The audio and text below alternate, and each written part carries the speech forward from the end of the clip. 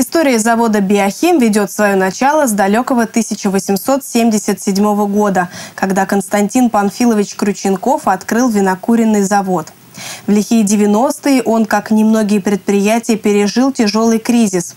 За несколько лет, благодаря упорной работе руководства и рабочего коллектива предприятия, Биохим смог восстановиться и достигнуть высот. Сегодня завод является одним из ведущих предприятий города Рассказово и ежемесячно платит в казну государства более 100 миллионов рублей. Биохим ведет и благотворительную деятельность. В течение многих лет он оказывает помощь Центру поддержки семьи и помощи детям имени Луначарского, спортивной школе, детской больнице, Дому детского творчества, Центру «Гармония». Участвует и в установлении памятников воинам, погибшим в годы Великой Отечественной войны, и в восстановлении храма святой великомученицы Екатерины. Именно благодаря вам завод «Биохим» – это предприятие-лидер, обрабатывающий промышленность не только города региона, но и страны в целом.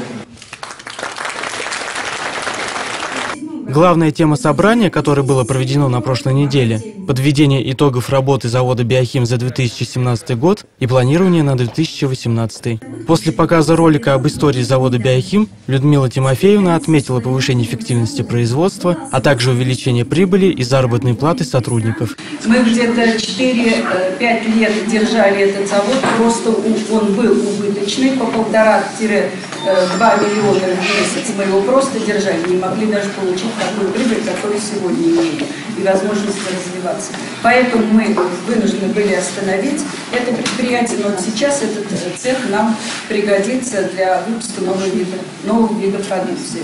продукции. Это дополнительные рабочие места, ну и, естественно, э, есть возможность увеличить зарплату не только там, кто будет работать, но и всему коллективу.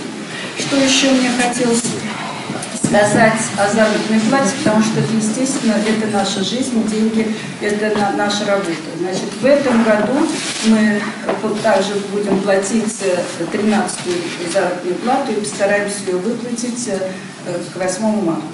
Мероприятие завершилось торжественным награждением. За проявленные трудовые заслуги первые лица города наградили сотрудников завода «Биохим» нагрудными знаками, почетными грамотами и цветами. Николай Теплов, Александр Прокудин. Новости ТВ рассказывают.